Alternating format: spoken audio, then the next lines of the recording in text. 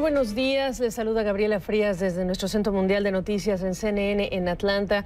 Bueno, pues en medio de lo que es esta lucha contra el coronavirus, los saludamos y les queremos traer lo último en lo que toca a la información bursátil y financiera en este día 18 de marzo. Una jornada en la que desafortunadamente volvemos a anticipar fuertes caídas. Estamos a menos de un minuto para que escuchemos la campana sonar en el piso de la Bolsa de Valores de Nueva York, de hecho en el balcón del lado derecho de su pantalla y en el lado izquierdo lo que tienen es eh, la pizarra que marca el desempeño de uno de los índices bursátiles que seguimos, que es el promedio industrial Dow Jones de 30 acciones. Em, en, una jornada en la que los mercados financieros vuelven a reflejar que tienen esta ansiedad instalada. Eh, cuando tienen ustedes ahí a solo una persona y lo que dice la imagen por sí misma también es importante.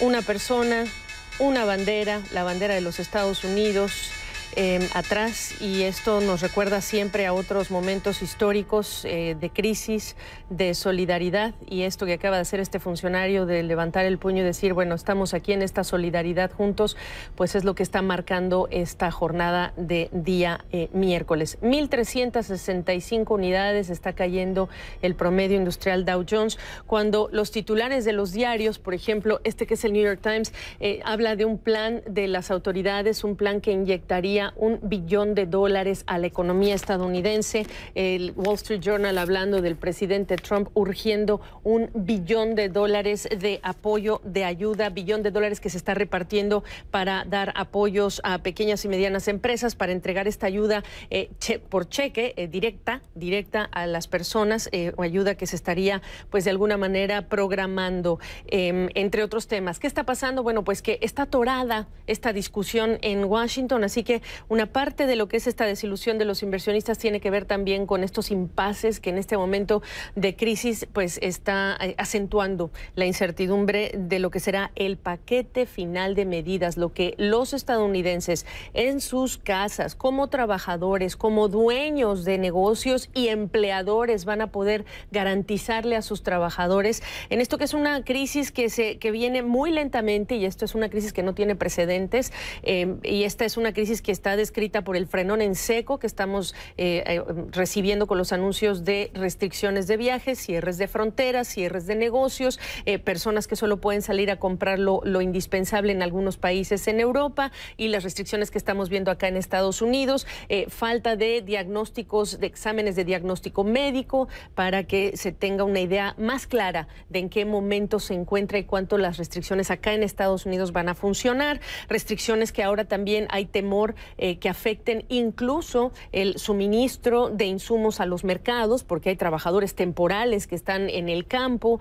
em, em, y entre otras cosas que han descrito esta situación. Y a estos titulares que les acabo yo de mostrar de los diarios, mientras estamos viendo esta caída de más de 1.100 unidades, pues se acumula la fila de sectores o de titulares o representantes de sectores o de gremios que agrupan a sectores que están pidiendo ayuda. Hemos hablado mucho del sector de la aviación que en Estados Unidos al menos está pidiendo 50 mil millones de dólares. Hay que agregar dentro de ellos a la estadounidense Boeing, una empresa emblemática para la economía estadounidense, y a General Electric, que son dos empresas que el día de ayer eh, incorporó a la lista el propio presidente Donald Trump como aquellas empresas que están también posibles de ser eh, respaldadas financieramente. ¿De qué forma? Hay muchas. Está el camino de la Fed, está el camino de los alivios fiscales, entre otras medidas, y medidas que incluso en Europa las autoridades no descartan podrían incluir una toma de control, una privatización, una participación del Estado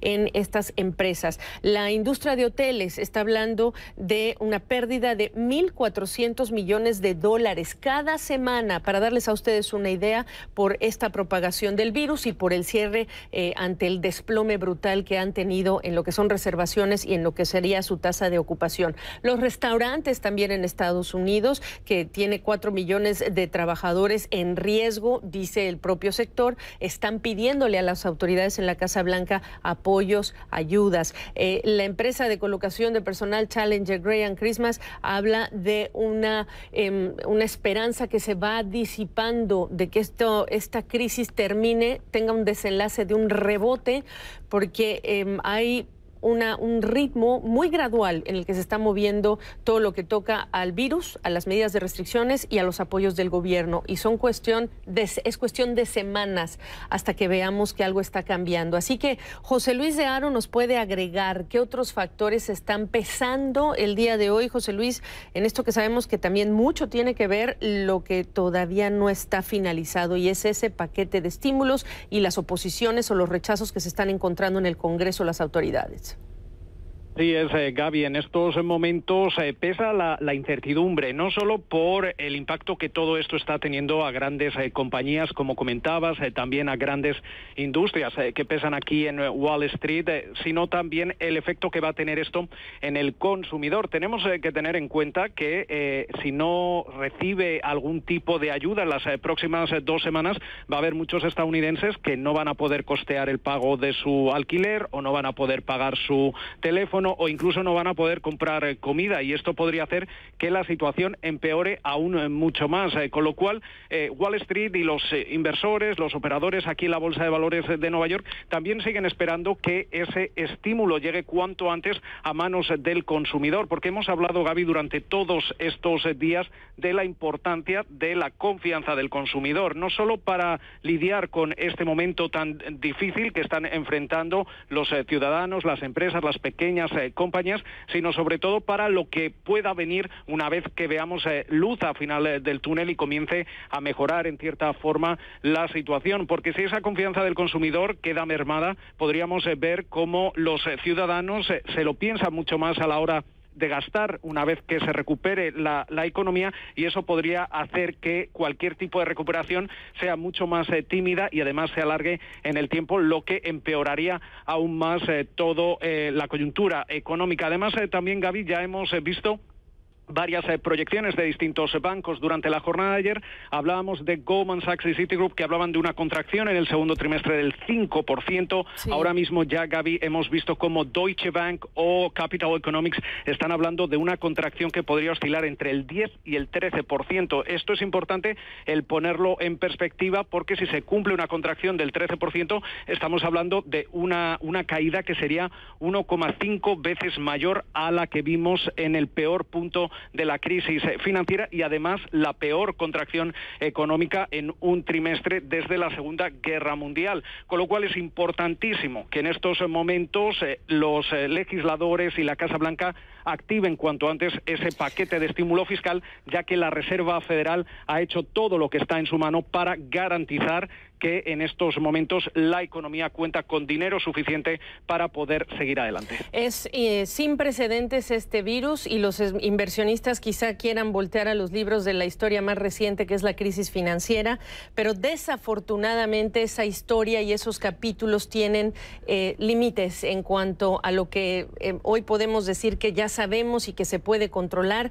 Aquí es un enemigo invisible, se necesita mucho a los expertos médicos, se necesita la solidaridad de la gente y la colaboración para tener la garantía de que efectivamente las restricciones van a funcionar y todavía hoy las autoridades están diciendo, por favor, quédense en su casa. en redes sociales se habla de don't be a spreader, no sea uno más de los que contagia a los demás. Em, este es el lado médico. En el lado económico es tan lento y tan gradual este proceso de frenón de demanda que el día, esta semana, José Luis, estamos hablando de capítulos en los que yo estoy cerrando mi negocio, no sé si voy a despedir empleados, quiero asegurarme que tengan este ingreso, eh, al mismo tiempo tengo que cumplir con mi renta, al mismo tiempo tengo 10 o 20 empleados, pero tengo una serie también de proveedores con quienes tengo que hablar. Es decir, se empiezan a romper esta fluidez en las cadenas y la, y la manera en la que está ocurriendo es de manera muy lenta. Entonces los inversionistas también reflejan esta ansiedad, siempre los mercados están un paso adelante y están queriendo buscar pues el horizonte, el futuro, pero ese futuro es de semanas para hablar de un desenlace. Incluso el el paquete de apoyo que está proponiendo el gobierno estadounidense, eh, se, habla de tramos, de gradualidad. Así que es difícil pedirle a los inversionistas una dosis de paciencia, José Luis de Aro, pero esto es lo que parece que es necesario hacer, además de lo que ya mencionabas. Lo que está atendiendo hoy día la Reserva Federal es que haya suficiente efectivo, liquidez para individuos y también muy importante para pequeñas y medianas empresas que son el corazón de esta economía. Así es, eh, Gaby. Hemos visto cómo además de, abaratar hasta el 0% el precio del dinero con esa rebaja de tasas que veíamos durante el fin de semana, la Fed ha instaurado distintos mecanismos eh, que ya activó durante la crisis eh, financiera que básicamente, y para que nuestros televidentes lo entiendan, están garantizando que tanto los consumidores como las pequeñas empresas puedan tener acceso, rápido a crédito créditos y a préstamos a corto plazo. Eso lo veíamos durante la jornada del martes eh, con ese anuncio que realizaba tanto la Reserva Federal con el apoyo del Departamento del Tesoro eh, y que además explicaba el secretario del Tesoro, Steven Mnuchin, que va a garantizar que todas estas eh, compañías, estos consumidores, tengan alrededor de un billón con B de dólares de acceso a dinero. Mientras tanto, también la Fed lleva ya desde el pasado mes de septiembre asegurándose que los eh, bancos, las entidades eh, financieras, tienen también eh, dinero a corto plazo, porque por supuesto los grandes bancos están bien capitalizados, es decir, tienen dinero suficiente, tienen esos colchones impuestos por las regulaciones que se aprobaron y se estipularon después de la crisis financiera, Gaby. Pero es importante también tener en cuenta que ese dinero normalmente no se puede tocar, está seguro, y los bancos siempre tienen necesidades para financiarse a corto plazo, para tener dinero eh, líquido, eh, tener dinero en, la mano para financiar algún tipo de operación y para eso se, lo que suelen hacer es prestarse dinero entre ellos y eh, lo que hemos visto desde el pasado mes de septiembre es que en ese mercado para prestarse dinero entre ellos a muy muy corto plazo ha habido disrupciones, unas disrupciones que han ido creciendo conforme hemos ido avanzando el año y ahora mismo también se han visto muy muy afectadas por toda la situación derivada del coronavirus y por eso la Reserva Federal también se encarga de que esa parte del mercado tenga dinero suficiente para que en ningún momento haya ningún tipo de susto que pueda eh, generar más pánico aún entre, entre los inversores y en el mercado. Volatilidad sin precedentes, es decir, estos bandazos, latigazos hacia arriba, hacia abajo, montaña rusa, si le parece más fácil entender lo que representa esta movida de las bolsas de valores o en las bolsas de valores.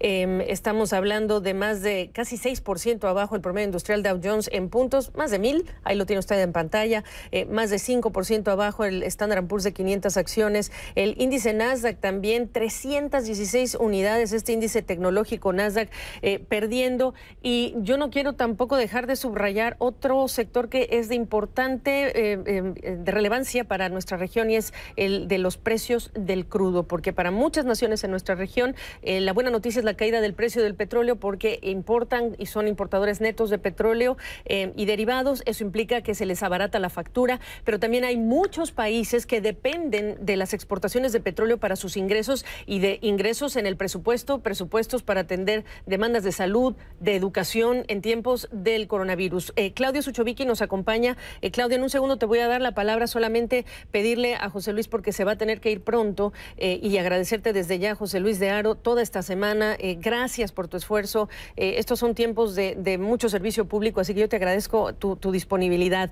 Em, algo que nos pidas que estemos atentos. Evidentemente, Washington es uno de los epicentros donde esperamos noticias. ¿Qué más? Básicamente, Gaby, tú lo has dicho, hay que tener paciencia en cierta forma dentro de toda esta situación porque es una situación de excepción eh, que no hemos vivido en la era moderna eh, durante, eh, durante los últimos años y por eso hay que pedir tanto paciencia a los consumidores, a los inversores y sobre todo pedir acción a los legisladores en estos momentos para intentar hacer que una mala situación no empeore porque no se han tomado medidas a tiempo. Pues sí, esta es eh, la situación. El mercado de bonos, por último, eh, antes de, despedirte rápidamente, ese mercado de bonos es el que ha sido el, digamos que el barómetro, termómetro para decir cuánta, digamos, eh, liquidez hay no disponible, cuánto estrés tiene o no este, esta disponibilidad o esta presión que están recibiendo los mercados. ¿Qué me dices? Así es, hemos visto como obviamente el mercado de bonos eh, del Tesoro americano se ha convertido en un valor refugio, pero tenemos que tener en cuenta que también hay una deuda corporativa y además hay una deuda corporativa de alto riesgo, lo que se conoce como deuda basura, que está en estos momentos sufriendo ese impacto que estamos eh, viendo por toda la situación económica, por toda la situación de los mercados y especialmente la deuda corporativa eh, especulativa dentro del mercado de petróleo de las compañías del shale también pueden concatenar algún tipo de efecto dominó, Gaby, que tenemos que estar muy pendientes porque toda esta situación eh, eh, afecta a distintos sectores, afecta a distintas eh, industrias y sobre todo cualquier tipo de shock, por, bien por el lado del petróleo, bien por el lado de los mercados, puede generar ese efecto dominó que podría empeorar aún más la situación.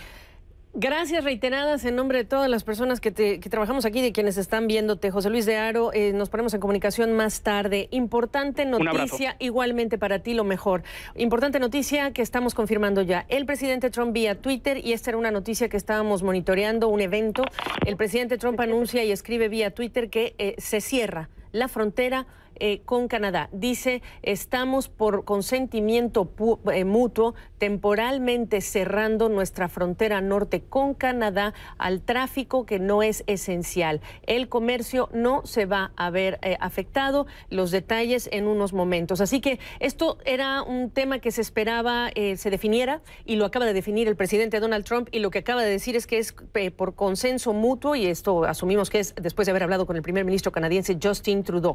Marcamos una pausa, nos vamos a conectar hasta Buenos Aires con Claudio Suchovicki para hablar de los mercados en América Latina y su interpretación, su análisis. Regresamos. Vamos a Buenos Aires para hablar de la jornada y del análisis que nos pueda compartir con su perspectiva Claudio Sucho Vicky, colaborador eh, eh, regular de Portafolio Global. Eh, Claudio, creo que yo a ti te conocí en la crisis financiera de hace una década, así que nos volvemos a encontrar en estas circunstancias y yo reiteraba a nuestros televidentes que no hay que mirar a los mercados pensando que ahí vamos a encontrar paz, tranquilidad. Ellos no encuentran los inversionistas eso y se nos olvida que esto es gradual, que ya nos dijeron que vienen al menos dos meses de esta alteración brutal en nuestra vida. Sí, tal cual, muy buena reflexión. El mercado es solo el termómetro, es nuestra manera de expresar los precios, lo que muestran es obviamente la preocupación no sobre lo que pasó, sino sobre el futuro. Algunas cosas que comentaban ustedes recién, esto ya es un tema de economía real más que de economía financiera. Lo único que agrego es la dinámica con la que se producen los hechos, incluso para tratar de ver el lado positivo, la velocidad con la que traspasan las cosas. En la última crisis conocida en la que nos encontramos discutiendo hace más de 10 años, era la crisis financiera, en aquel momento no existía WhatsApp. Hoy nos informamos todo el tiempo, cada segundo, en 80.000 grupos de la cual formamos parte, de videos reales, no reales, etcétera, que generan, entre otras cosas, otra enfermedad, aparte del virus, que es la ansiedad. Y el segundo punto es que tampoco era Twitter. Recién comunicaba vos una noticia que la dio el presidente de los Estados Unidos vía Twitter. La aceleración de la velocidad de la información es imparable. Y en los mercados de capitales eso se encuentra exacerbado porque gran parte de las decisiones hoy se toman vía algoritmos. No es que hay personas atrás tratando de racionalizar y tratando de poner paciencia. Un algoritmo decide vender, la venta produce baja, la baja produce más baja y así sucesivamente. Por eso creo que estamos todos un poco choqueados por la velocidad del cambio más que por el cambio en sí. Así que, oiga, con mucho respeto le decimos a nuestros televidentes, hay quienes dicen, tengo que apagar la televisión para no estar escuchando noticias malas. Oiga, pues apague el Twitter también, porque también... Este programa lo tiene que ver, eh, obviamente. Claro, por supuesto, fuera de bromas, si quiere desconectarse, realmente desconectarse en estos tiempos implica apagar redes sociales a veces más que la televisión. Tengo que repetirte que me des tu, eh, tu perspectiva sobre Latinoamérica. Eh, la OPEP y la Agencia Internacional de Energía hablan de 50 a 85% el rango de pérdida de ingresos a los países exportadores de crudo. En tu país, Argentina, Vaca Muerta, ese yacimiento era prácticamente de lo que se dependía para hacer una cantidad de otras cosas en el gobierno de Alberto Fernández. En México, el peso hoy está tocando el mínimo histórico de 24 por dólar. El presidente López Obrador habla de una refinería que ya le han dicho que va a perder dinero. Por cierto, hoy se marcan más de 82 eh, años, si no me equivoco, de la expropiación petrolera. La Bolsa Mexicana de Valores está cayendo. Credit Suisse ayer habla de una contracción este año de 4% esperada para la economía mexicana. Háblame de la región, Claudio. Sí, y va a estar muy dividida. En algunos casos eh, es insumo. Como es insumo, es abaratamiento de costos. En otros casos, como contabas México o la misma Venezuela o Colombia, es exportación, con lo cual es un problema mucho mayor. Eh, sin duda que ese es el, punto central. Acá hubo una discusión, una discusión donde se resolvió, si quieren, académica o no, donde se resolvió vía ajuste de precios, no bajar la producción, era una de las ideas para tratar de restringir la oferta, eso es lo que proponían algunos países, la mayoría decidió, bueno, si hay que vender y la oferta, la demanda se cae la mitad, vendamos al menor precio posible y ese ajuste va a ser vía precios. Esto va a complicar, va a haber un intento de los estados esto está pasando en América Latina, los estados haciéndose cargo de la situación, tratando de frenar la cadena de pagos, el mismo Estados Unidos tratando de frenar la cadena de pagos, que no se interrumpa, tratando de poner algo de plata en el bolsillo, tratando de incentivar la gente, pero esto va a tener daños colaterales sin duda en el mediano y largo plazo cuando nos replanteemos obviamente los déficits del Estado. Pero la verdad es que en América Latina eh, somos testigos y la vamos corriendo atrás. No es que tomamos el liderazgo. Y, creo que ese es uno de los factores que hay que poner sobre la mesa. Eh, no es que estás controlando la situación y eso es lo que nos deja a todos un poco a la deriva, claro, con la sensación a la deriva. No es que estemos controlando la situación, es que los expertos médicos nos dicen cómo controlarla y parte de ello es solidarizarnos y no cometer imprudencias que en algunos casos ya hasta molestan, que es decir, no conservar esa distancia social que es importante em, y no atender sus sugerencias. Ese es el lado médico y van, vienen varias semanas con esa instrucción. Y luego, pues el lado de los políticos que eh, esperamos se sumen a la opinión de los médicos y actúen en consecuencia en toda la región y en todo el mundo. ¿eh? Eh, porque el presidente Trump también lo ha cuestionado muchísimo. Em, así que em, esta es una primera aproximación de lo que se viene en la perspectiva de Claudio, Claudio Suchovicki, eh, pues una década analizando crisis y no crisis financieras. Claudio, esperamos que tú y los tuyos estén bien. Un abrazo para nuestros amigos allá en Argentina. Gracias. Muchas gracias, abrazos a todos y a cuidarse. A cuidarse. Y gracias a usted por mantenerse en nuestra sintonía. Más tarde estamos pendientes de una conferencia de prensa de las autoridades de salud con el presidente Trump y los detalles de este cierre de la frontera norte de los Estados Unidos. Siga con nosotros.